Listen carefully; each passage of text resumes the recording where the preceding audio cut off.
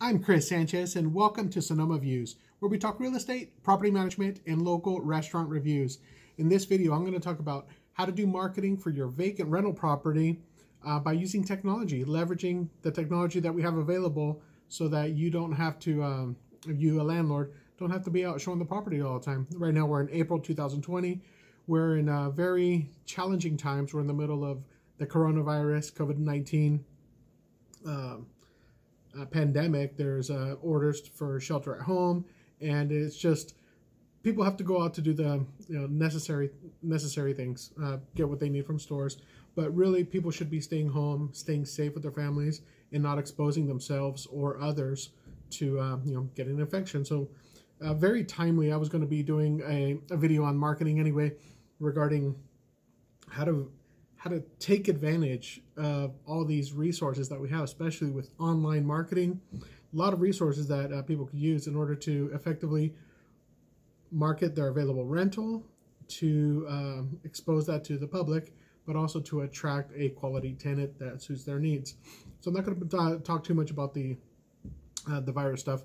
I just want to um, give you an overview on all the different things that you could do, especially low cost or no cost, and then also in the spirit of safety and not being out and not being exposed um, to avoid contact with, with people directly. Plus, it is also uh, an underlying benefit is that it is effective as far as productivity. So you're able to do more with less time and not waste time uh, for either the landlord or the potential renters. So thank for thank you very much for being here. Let's get started. Um, first and foremost, I'm going to talk mostly about uh, video because that's one huge advantage that we could all do right now in getting a property ready for rent. So I'm going to give you my um, overview of my process and how I'm currently maximizing the the marketing exposure that I'm getting for rental properties. And I'm in Sonoma County, California. Um, one, a video. Right now, because it is a challenge for people to go out and look at uh, properties, and we don't want to have people uh, doing open houses or showings, or having the, the leasing agents out doing open houses, trying to uh, make the best use of the time and resources that we have available. So uh, what I've started doing for the past couple weeks is video tours. And this is just with the with the cell phone, with the mobile phone. If you have a smartphone with the camera, you could do this um, do a video tour, actually walk through. Uh, some of mine are five minutes up to 10 minutes. Just going and taking the time to point things out that you wouldn't be able to get in a photo. If um, Now, granted, also take photos, but with a video, you could actually talk through it, talk about the crown molding. You could talk about there used to be a wall right here, and this was taken down to open it up. This um, used to have cabinets here that were taken down, and now it's a a bar area. So you could talk about those things. You could talk about the neighborhood. You could talk about um, what makes it desirable. Okay, take the time to, to point those out. And by doing video, the key is, the benefit is that so many people have mobile phones now and they're home. so they're not out driving around. They're not at a physical workplace, a lot of them. So they're home, Wi-Fi. They could actually watch the video first before they decide to take the next step. And I'll talk about the, the the process for applying a little bit later. So one, it's video. Use your mobile home, mobile phone, and record a video. Now, once you have that video, you could upload it to YouTube. No cost, no charge. Upload it. If you don't have a YouTube account, uh, sign up for Google or Gmail, and then you could create a YouTube account. It's all part of the same thing. And you could actually do it, excuse me, um, upload it directly from your phone wirelessly, but if you have the connection, you could hook it into your computer, upload that photo, and then uh, publish that. Then you'll get a link, and then you can share that link. One, it'll be running on YouTube anyway. Now, YouTube is the second, uh, last I checked, second largest site for search anyway. So it's going to be published. You can put in key key tags in there, keywords. So people are looking for rentals in Santa Rosa, for example. Your video might just show up just based on regular search. Plus, you get to share it and I'll talk about the social media and the other platforms in just a second.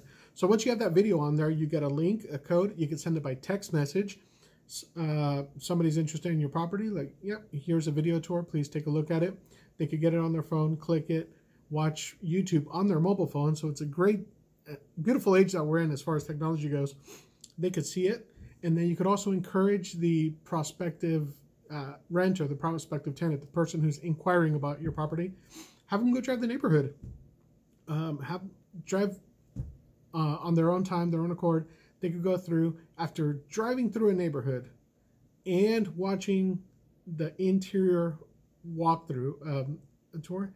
That person is going to know whether or not they want to be in that neighborhood and it meets their their satisfaction or what they're looking for.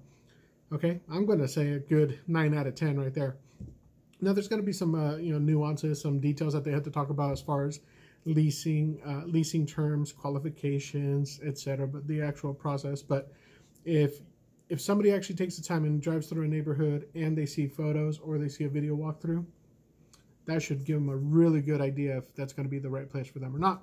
Because if it's not, no harm, no foul. That's exactly what you want to do. You, uh, it's a filter process, so you could select, um, go through a selection process. So if people drive out there and they realize, hey, that it looked good, but across the street it's a you know mobile home park or industrial or there's a car lot there, and it's not the neighborhood that they want to be in, then you you accomplish the goal, and they also know the prospective uh, renter also knows that it's not going to work out for them.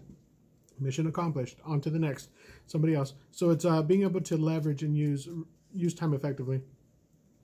Uh, also, that same video, you could upload it directly to Facebook. No charge for that as well. You could put it on your personal account, uh, personal profile. It does take a little while. It has to process. And then Facebook also goes through a, an approval process. So it'll let you know your video is been reviewed, it's published, and now it's live. So once you have there, you could um, share that with all your friends on Facebook.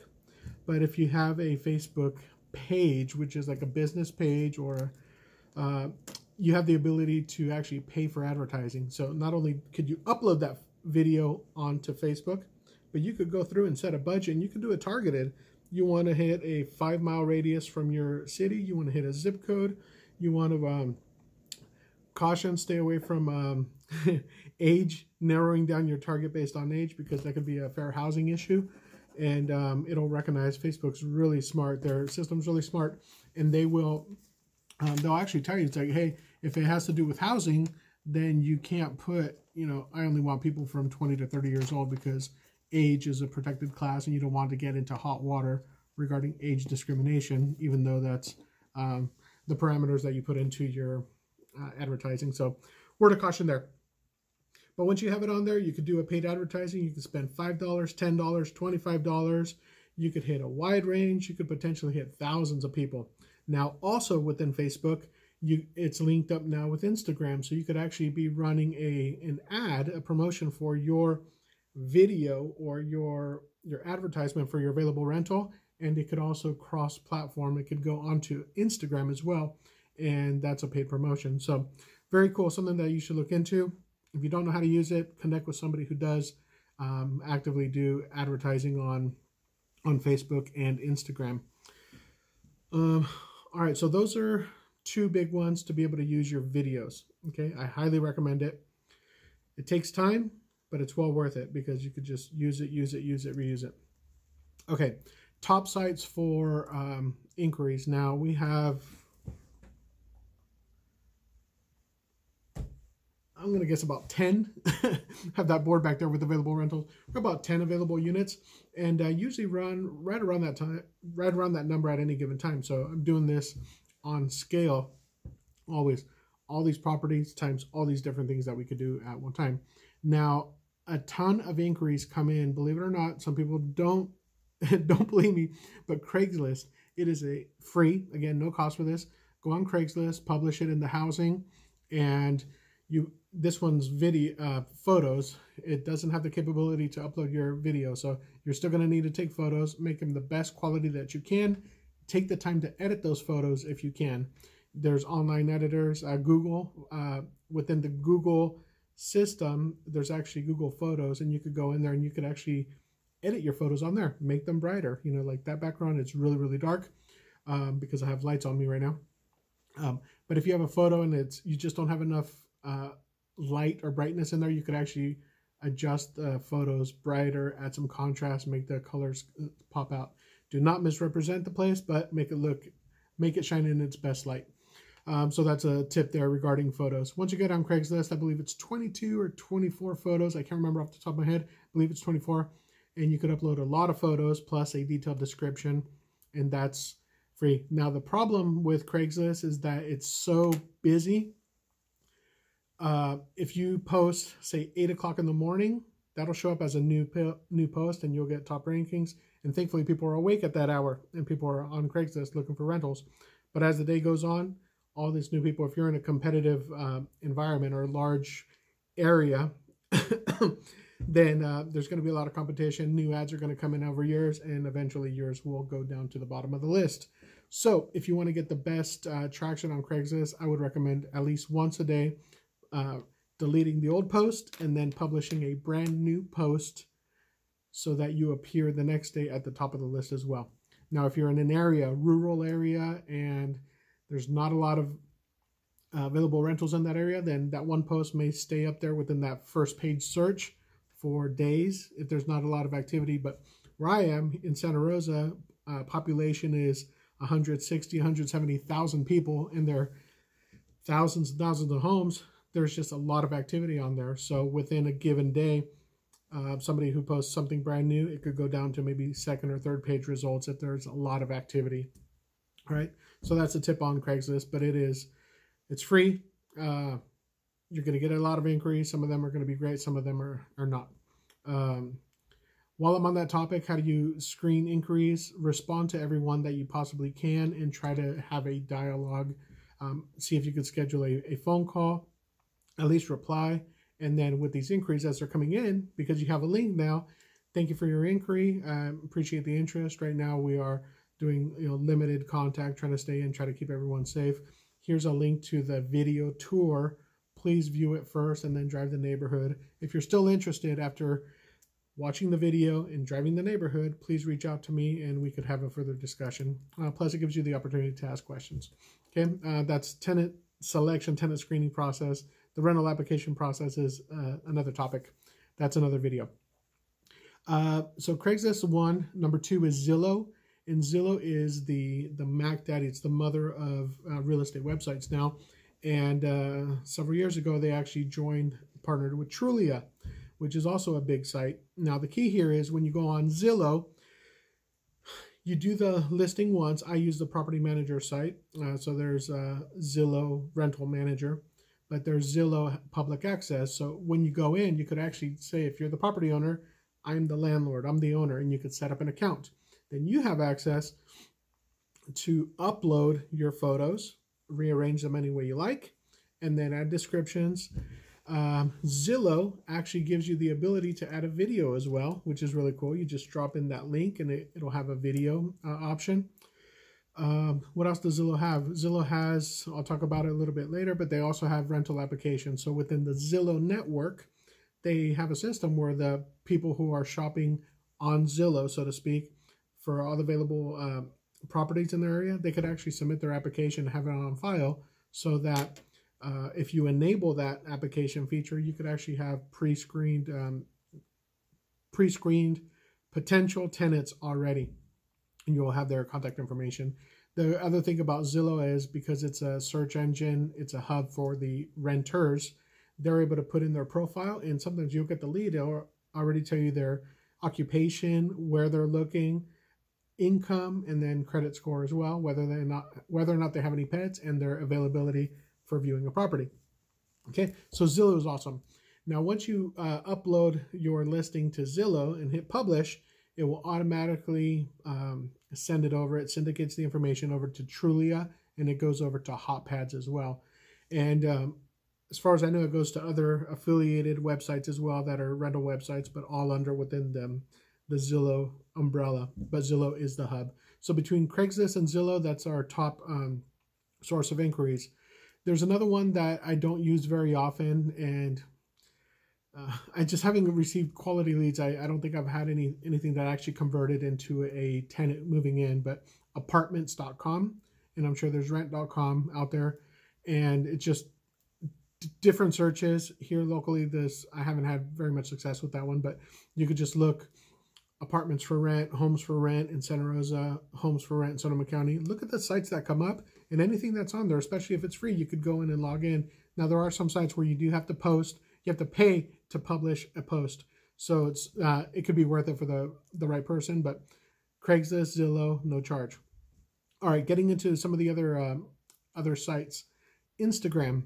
Uh, if you are active on Instagram and you have a following, you have connections, you could post your photos. You could do up to 10 photos, as a matter of fact. You could do a video, which is a short video, uh, up to one minute. Talk about it, maybe provide photos, maybe provide um, link. You, you can't link directly through through Instagram, but you can put the URL and somebody, if they wanted to copy and paste, they could do that. So you could give um, other instructions to Instagram, and it's has a cool search feature as well. If you get to use the hashtags, um, you could put in Sonoma County rentals or Santa Rosa rentals, Rohnert Park, and you might be able to, uh, somebody might be able to find that. All right, moving along. I'm at 16 minutes now. Instagram, Facebook, we talked about. LinkedIn, or I'm sorry, backing up, Facebook. Within Facebook, it's a beast. There's so much potential there. There are Facebook groups, so you could find a um, like myself. I started a Facebook group four years ago or so. We're at ten thousand five hundred members as of now. So slowly built up over time, but now it's a it's a beast in its own right. It has a life of its own. So over ten thousand members in that, and it's active community rentals in Sonoma County, and people could post there. It's all about available rentals, helping landlords and tenants find each other. Okay, that's dedicated within Facebook. Um, and there are other groups as well. There's going to be like your Facebook Craigslist, um, buy and sell, all sorts of groups. Take your time, search the groups, find some that are appropriate, read the community rules, you know, see what the, the admins have, uh, the administrators of that group have posted as far as the group rules. You don't want to go in and um, uh, not follow etiquette or follow the rules if you don't know. So just take your time or reach out to the admins and ask if it's okay if is it okay to publish available rentals on this uh, site or not. Uh, mine, Sonoma, rentals in Sonoma County, it's that's strictly it. Um, if somebody posts TVs and cars, they get deleted. If they keep spamming, then they're completely blocked from from the group. Trying to maintain it clean and um, clean and respectful and on point. Um, there's also Marketplace in Facebook, which is huge. Now that is a free for all marketplace. That's from cars, uh, personal items, furnishings, and rentals. So when you go in there, you can actually put in uh, properties for rent, and it goes within the Facebook Marketplace. And the cool thing about Facebook is uh, both between groups and the marketplace, people message you directly. So make sure that you're, if you're going to be in there, then you participate and you're active and you're able to uh, respond to the inquiries that are coming in because, um, which is a a benefit and downside, I post in a number of groups, including Marketplace. I get so many inquiries. I admit I do not get to respond to everyone all the time. It's just I'm on the road, and right now I'm working late. So um, I it's a challenge for me to keep up on those, but I put in instructions. Please call the leasing office or please call the leasing agent at this number, just because um, it's uh, how can I put it? you do one thing uh, to get a certain result and then you're just not able to follow up on it. So just make sure that you can follow up on those uh, inquiries. Um, LinkedIn, don't forget about this one. LinkedIn is still powerful, especially it's it's a professional network. If you're active on LinkedIn, you could go in and publish it. You never know who's going to be on the other end, especially with uh, professionals, they they could post it, they could pass it along and they could communicate directly on linkedin.com. It's a professional network. Next one, don't forget nextdoor.com. Now, this one, they do not like, that group does not like self promotion. So be mindful of the group. Go in and uh, there is a real estate section. You might find a classifieds in there.